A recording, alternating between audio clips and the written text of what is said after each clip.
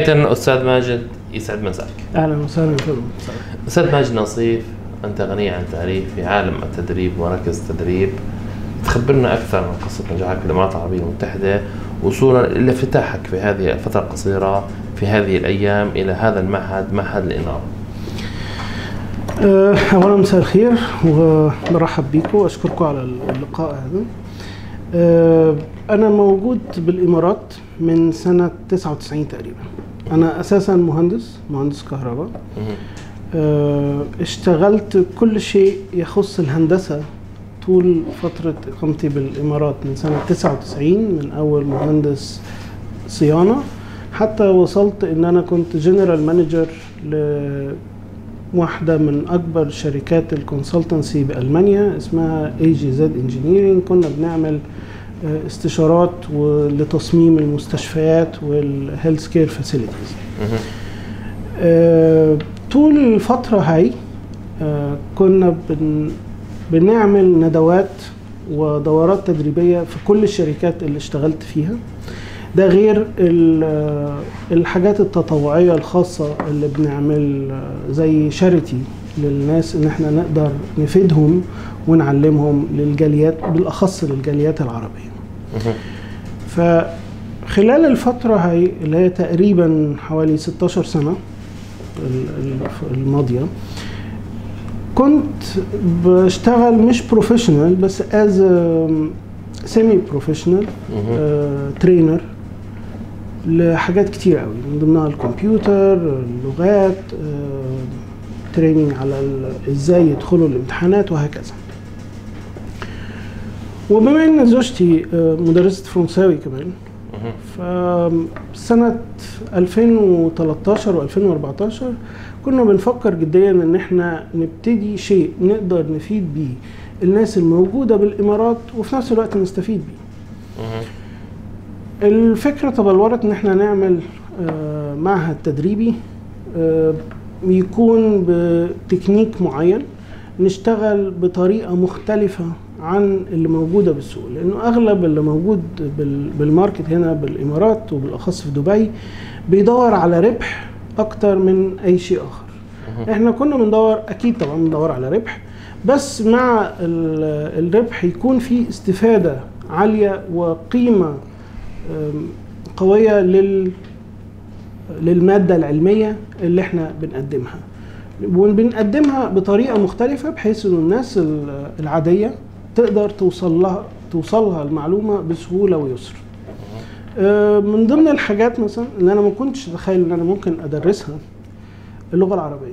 أنا مهندس كهرباء. ما دخلش على اللغة خالص ما بدرسش لغة. أنا بعرف إنجليزي وفرنساوي وعربي أكيد وإيطالي شوية وألماني. إنما ما فكرتش نهائيا إن أنا ممكن أعلم لغة في حياتي. ممكن أعلم أدرس أو أدي training على آه، بعض ال soft skills بعض الكمبيوتر وهكذا. آه، مؤخرا كنا عملنا دورات مع شركات آه، بيدوا للناس عندهم دورات للغة العربية. وكان في إصرار من بعض الأصدقاء إن أنا أدي الكورس لأن أنا ابتكرت مختلفة طريقة هندسية let's say آه، لتوصيل المعلومة.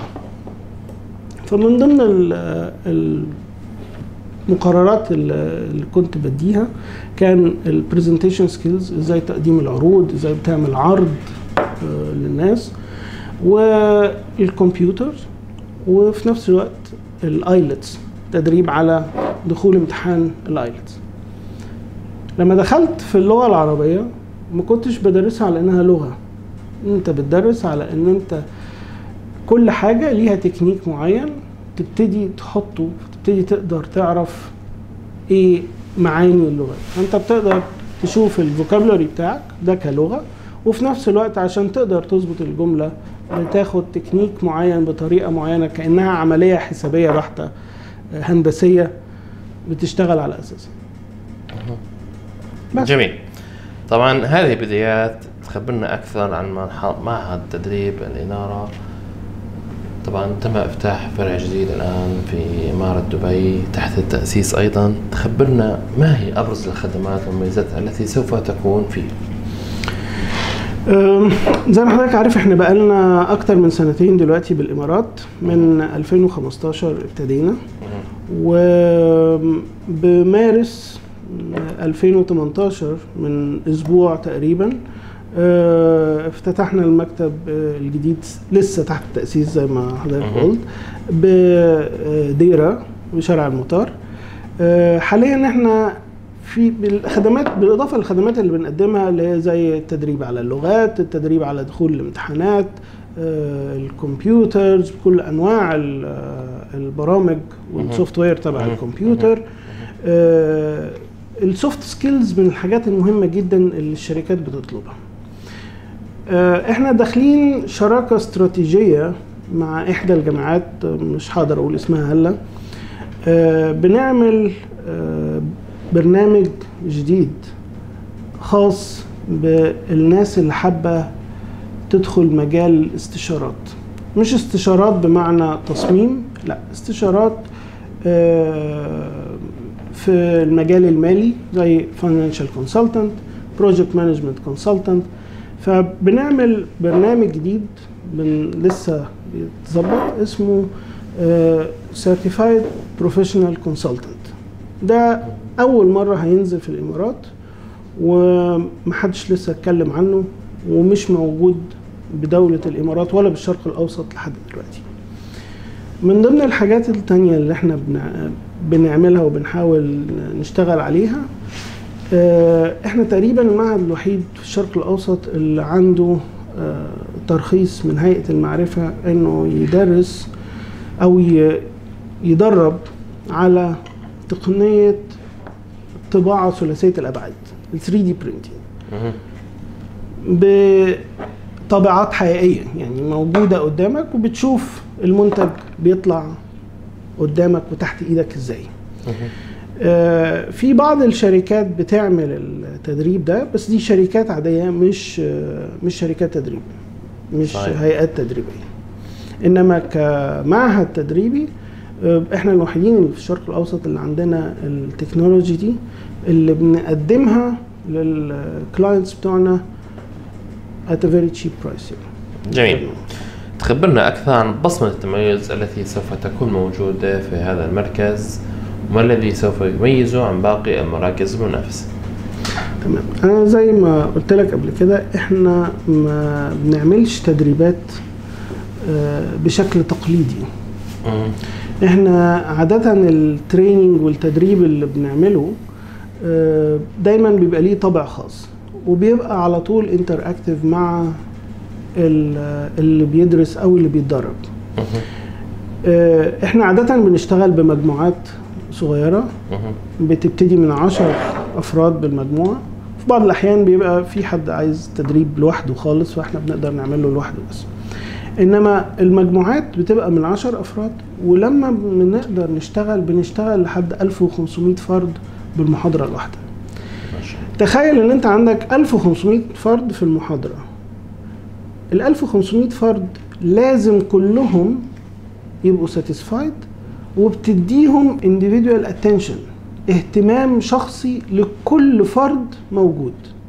ودي من التقنيات اللي مش أي حد بيقدر يعملها. لذلك إحنا عندنا ناس مختارة فقط من الانستراكتور والمدربين اللي بيقدروا يشتغلوا عندهم خبرة طويلة وعريقة في آه، في هذا المجال. جميل. طبعا ساعة رجل أعمال أستاذ ماجد نبيل نصيف هذا التميز ما أتى من فراغ. أكيد. خبرنا أكثر عن أبرز طموحاتك ونظراتك المستقبلية إلى المدى البعيد لهذا المعهد ومركز التدريب الحقيقة آه، طموحات آه، ملهاش حدود. بالأخص إن إحنا أول ما ابتدينا ابتدينا في دولة الإمارات العربية المتحدة وفي دبي. لأنه كان مش صعب إن إحنا نبتدي المعهد بس برضه ما كانش سهل. صحيح. أكيد. فالطموحات بالنسبة لنا إن إحنا نتوسع مبدئيا في الشرق الأوسط ونبتدي ندخل نظام تدريبي وتعليمي جديد لأهلنا بالشرق الأوسط. بحيث إنه ما يبقاش معتمد على الطرق التقليدية اللي إحنا شغالين بيها دلوقتي وأنا مش بتكلم بس على التكنولوجي لا أنا بتكلم على طريقة التدريس وطريقة التدريب لطلاب المدارس وطلاب الجامعات لأن طلاب الجامعات كمان بالذات المفروض إن أنت بتأهلهم إنه يخرج على سوق العمل على طول. ففي بعض البرامج ناقصة عند الجامعات لازم تديها للطلاب بحيث إن هو لما يتخرج يبقى جاهز لسوق العمل. ما يحتاجش ياخد تدريبات تانية وخبرات تانية تدريبية مختلفة غير اللي هو خدها في الجامعة. ويبقى ده في أقل ال- الحدود الممكنة يعني.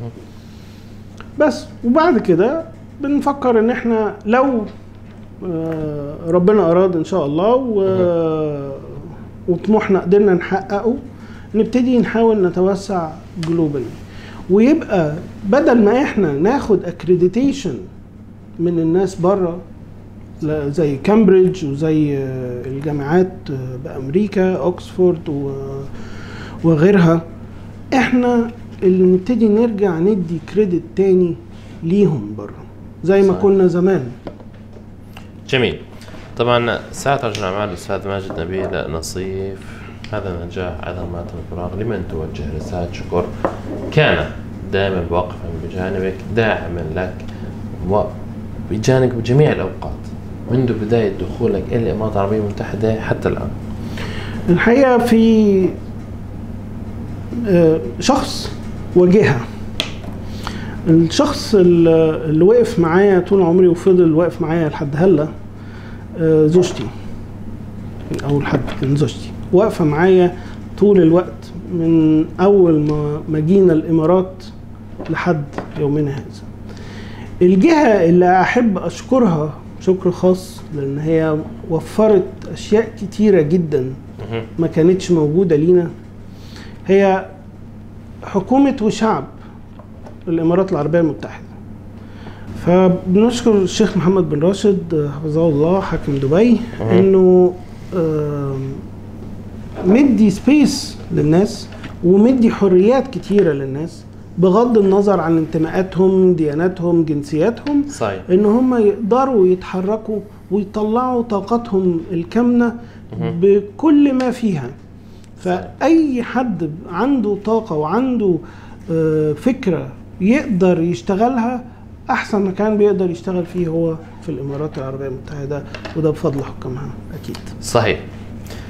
ساعة رجل أعمال الأستاذ ماجد نبيل نصيف وأنت مهندس نفتخر به دائما وأبدا وأحد فرسان التغيير وأحد المنائين في هذا الوطن العزيز على قلوبنا وقبل أيضا انتهاء من الوقت في هذا البرنامج كما تعلم. الإمارات العربية المتحدة تنعم بنعمة الأمن والأمان في ظل هذه أكيد. القيادة الحكيمة في ظل هذه القيادة الرشيدة نعمة الأمن والأمان ماذا تعني لك؟ وما هي رسالة الشكر التي توجهها إلى شيوخ وحكام الإمارات العربية المتحدة بمناسبة نعمة الأمن والأمان؟ الحقيقة نعمة الأمن والأمان لا تقدر بثمن. ودي من الحاجات ال- الأساسية اللي موجودة في الإمارات حكامها. مهتمين بيها جدا. صحيح. والحقيقة ما حدش يقدر آه، يتخيل إيه حجم الأمن والأمان داخل الإمارات إلا اللي جه وعاش بالإمارات وشاف بعينه. صحيح. آه، إحنا من سنين عايشين بالإمارات. صحيح. كنا بنسيب سياراتنا شغالة وندخل السوبر صحيح. ماركت نشتري ونخرج ناخد سياراتنا ونمشي. مفيش مكان في العالم ممكن يحصل فيه كده. صحيح. فأنا لا يسعني إلا أن أنا أوجه آه، شكري وتقديري العميق لشيوخ دولة الإمارات العربية المتحدة على رأسهم الشيخ خليفة والشيخ محمد بن راشد وغيرهم من شيوخ حكام الإمارات إن هم ما زالوا محافظين بقوة على النعمة اللي هي نعمة الأمن والأمان اللي إحنا موجودين فيها لأن هي أساس كل شيء وهي أساس التقدم والتطور دايما. صحيح. لأنه لو ما فيش عندك أمن وأمان ما أعتقدش أبدا إن حد هيقدر يقعد ويستنى في غربة لأنها بالأول صحيح. والآخر غربة. فلو دي ما كانتش موجودة ما كانتش دولة الإمارات كانت هتبقى زي ما هي موجودة حاليا. صحيح. طبعا الله يديمها من نعمة دائما أبدا الإمارات رب. العربية المتحدة. وعلى جميع الدول العربية والإسلامية سعادة رجل الأعمال الأستاذ ماجد نبيل النصيف في النهاية أنا بتشكرك لاستقبالك. الرائع لأنه. لبرنامج نبض الاتحاد في مكتبك ومعهد التدريب معهد إنارة وشكرا لك. ألف شكر نورتونا وتشرفونا خير